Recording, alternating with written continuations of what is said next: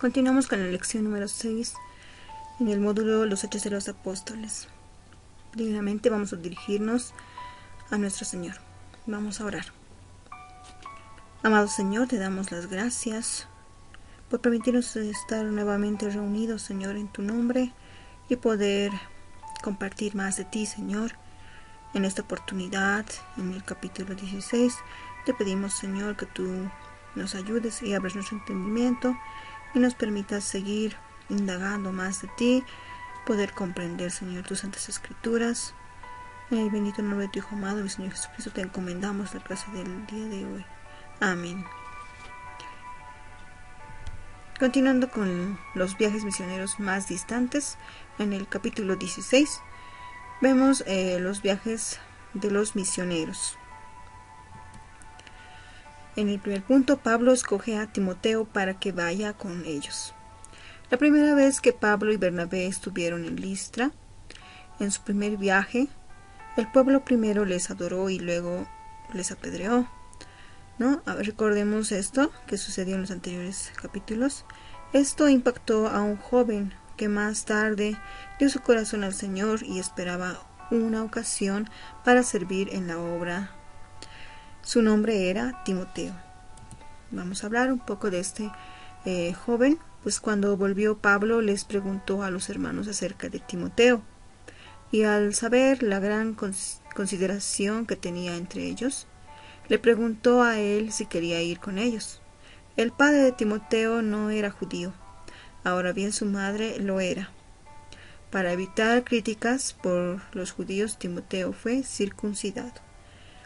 Entonces recordemos ¿no? que los padres de Timoteo, el papá pues no era judío, pero la mamá sí lo era, y también la abuela ¿no? de Timoteo.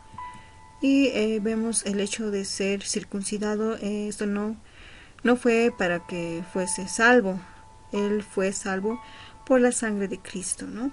por la fe. Esto se hizo para evitar ofensas de aquellos que creían en esta cuestión, ¿no? Y así fueron los tres visitantes, tanto Pablo, Silas y Timoteo, a todas las iglesias dándoles la buena nueva, que no era necesario guardar la ley para ser convertidos. El resultado fue favorable y más almas se, salvaban día a día. Qué hermoso, ¿no? Es algo que estaba sucediendo. En ese entonces pasamos a la llamada de Macedonia. Vemos, ¿no? Que se mostró a Pablo una visión de noche. Un varón macedonio estaba en pie, rogándole y diciéndole, pasa a Macedonia y ayúdanos. Cuando vio la visión enseguida procuramos partir para Macedonia, dando por cierto que Dios nos llamaba para que les anunciáramos el Evangelio. ¿no? De esta manera es que Pablo se dirigió a Macedonia. Después de atravesar las regiones de Frigia y de Galacia, trataron de penetrar en la provincia de Asia, en la parte que conocemos como Turquía, pero el Espíritu no les permitió ir allí, ni tampoco a Bitinia. Finalmente llegaron a Troas, en la costa norte, justo al otro lado de Macedonia. Vemos la dirección de Dios acá, ¿no? Allí Pablo, eh, como, bien, como está viendo, ¿no? La visión. Y vemos a un varón macedonio, ¿no? Eh, diciéndole que pasa por Macedonia. Y pedía ayuda, ¿no? Esto fue, fue eh, procedente de Dios, habíamos dicho. Y que también em, estaban, ¿no? Presos a recibir esta orden de esa manera es que el apóstol fue llamado ¿no? a, Europa para predicar el Evangelio, donde de inmediato se establecieron iglesias y Europa vino a ser un baluarte de la cristiandad durante muchos siglos. Después vemos eh, a otro personaje, ¿no? Eh, Lidia recibe la palabra en Filipos. En Filipos, ¿no? Lo que sucede es que pronto habían llegado, ¿no? A, este lugar, en la primera ciudad de la provincia, ¿no? Que era Filipos. Allí no había una sinagoga para que pudieran pudiera ir Pablo, ya que recordemos que él siempre a los lugares donde principalmente acudía, ¿no? Pablo eh, a predicar, ¿no? Pero encontraron a unas cuantas mujeres que estaban a la orilla del río, donde solían reunirse para orar. A una de ellas Dios, ¿no? abrió su corazón para que creyese. Ella era, ¿no? una vendedora de púrpura, cuyo nombre era Lidia. Muy pronto fue bautizada y ofreció a sus misioneros un lugar en su casa. Vemos ahí, ¿no? Como Lidia fue bautizada. Otra joven, ¿no? Que estaba presa de un espíritu maligno llamado Pitón, gracias a las extrañas palabras, ¿no? Que pronunciaba, sus amos la llevaban, ¿no? Una, una, se llevaban ellos una buena ganancia. Esta joven reconoció que Pablo y Silas eran siervos de Dios y les seguía diciendo en voz alta, ¿no? Claro que lo que decía era verdad, pero Pablo no podía aceptar ayuda de alguien que estaba en las garras de Satanás. Y es por eso que Pablo, ¿no?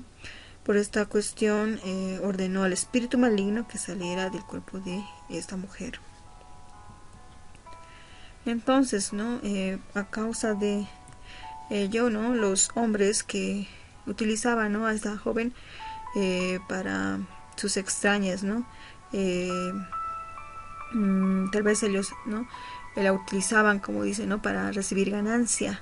Entonces, estos hombres se habían molestado bastante, ¿no? Porque como ella ya no tenía ese espíritu maligno, entonces ella ya estaba ¿no? con Dios, ella empezó ¿no? a escuchar a Pablo y Silas y es, ese espíritu maligno, ¿no? Pablo ordenó que saliera y entonces ella ya estaba eh, transformada, ¿no? Y eh, al ver todo esto, estos hombres se enfurecen, ¿no? Y por motivo por el cual es que Pablo y Silas son azotados y encarcelados. A continuación vemos que, ¿no?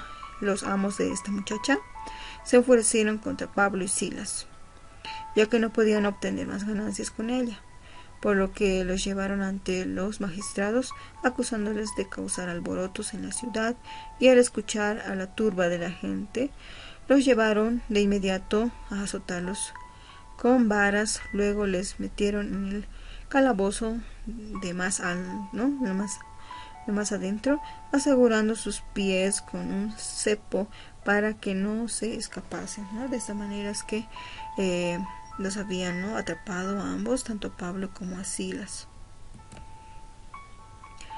Eh, pero ¿qué sucedió? ¿no? Pablo y Silas habían sido muy maltratados. Sin embargo, ellos eh, estaban, ¿no? Están muy agradecidos por el privilegio de sufrir por causa de Cristo, ¿no?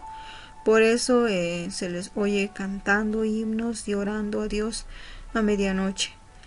Esta vez envió un terremoto que abrió las puertas de la prisión y libró a los presos de manera que todos habían podido escapar. Esto es lo que había sucedido, ¿no? En la prisión.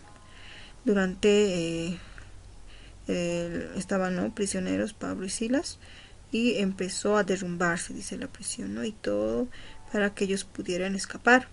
Pero ¿qué sucedió? Eh, el carcelero es salvado, ¿no? Eh, en la prisión había un carcelero, ¿no? Despertándose, dice este, y viendo abiertas las puertas de la cárcel, pues sacó la espada y pensando que todos habían escapado, pues él quiso matarse, ¿no? Y más Pablo clamó a voz diciendo, no te hagas ningún mal, pues todos estamos aquí.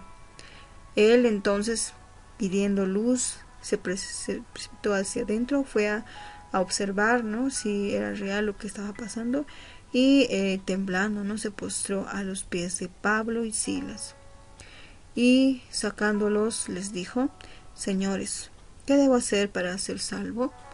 ellos dijeron cree en el Señor Jesucristo y serás salvo tú y tu casa y le hablaron la palabra del Señor a él y a todos los que estaban en su casa. Y él, tomándolos en aquella misma hora de la noche, les, les lavó las heridas y enseguida se bautizó con todos los suyos. Algo muy hermoso, ¿no? Que había sucedido. El carcelero fue convertido y creyó en el Señor Jesucristo. Cuando el carcelero se dio cuenta de lo que había sucedido, pensó, ¿no? Que mm, habíamos dicho que anteriormente, ¿no? Eh, ellos eran castigados con la muerte, ¿no? Si dejaban escapar a algún preso, ¿no? Sin embargo, el carcelero, ¿no? Eh, pensaba quitarse la vida para que esto no sucediera, pero Pablo y Silas lo llaman para que puedan percatarse de que no habían huido, sino estaban ahí todos. Y eh, el carcelero no ve y se encuentra maravillado al ver que no em, era cierto, ¿no? que ni uno había escapado de la prisión. Entonces él se postra ante Pablo y ¿no? le pregunta qué es lo que podía hacer para ser salvo. ¿no? inmediatamente Pablo pues lo que hace es darle las buenas noticias, ¿no? Y de salvación y el carcelero gozoso, ¿no? Pues recibe y cree en el Señor Jesucristo y además, ¿no? Hace que, ¿no? Vaya a su casa y donde cura las heridas de Pablo y, ¿no? Y hace que su, toda su casa también sea salva. También podemos ver otro punto importante donde Pablo y Silas son soltados y abandonan la ciudad. ¿no? Después de lo que había sucedido, ellos son ya libres, ¿no? Y los mismos magistrados eh, dice que tuvieron temor y le pidieron al, carcelero que los soltara, ¿no? Por lo que había sucedido. Pero esta vez Pablo se niega a irse, ¿no? Ellos eran ciudadanos romanos y podían crearles problemas a los magistrados por haberlos azotado sin antes realizarse un juicio. Pablo no pretendía tal cosa, pero no quería que la población de Filipos pensara que el Evangelio era predicado por personas carentes de derechos, ¿no? De esta manera es que él no quiere, ¿no? Irse inmediatamente y quiere hacer valer también los derechos que le corresponden. Por esta razón dice que estos magistrados tuvieron que ir a la prisión y soltarles. Después de visitar a los enfermos en casa de Lidia, se fueron de la ciudad. Así entró el Evangelio también a Europa, algo que debemos tomar muy en cuenta. De esta manera es que finalizamos con esta parte y eh, vamos a darle gracias al Señor nuevamente. Padre amado, te damos gracias por tu bendito amor, por tu misericordia y tu gracia que siempre nos acompañan. Realmente, Señor, podemos ver tus maravillas, tus milagros, Señor, en cada uno de tus siervos. Tú los encaminas a cada uno, tú conoces, Señor, sus corazones, sus mentes. Te pedimos, Señor, y te encomendamos la vida de cada uno de mis hermanos, allá donde se encuentren escuchando, Señor, y leyendo más de tus escrituras. Toca sus corazones, Señor, y sus mentes. Transfórmalas, Señor, renuévalas. Y hazles desear, Señor, más, más de ti, Señor, para que podamos reflejar, Señor, ese carácter tuyo y ser testimonios vivos, Señor, donde vayamos, Señor, así como tus siervos, Pablo y Silas, sufrieron, pero lo hicieron gozosos, Señor, por ti, porque eres todo para ellos, ¿no? Y todo para nosotros. Por ello te suplicamos, Señor, que nos fortalezcas cada día más y nos des más de tu espíritu para poder continuar, Señor, llevando el Evangelio. En el bendito nombre de tu Hijo amado, mi Señor Jesucristo. Amén.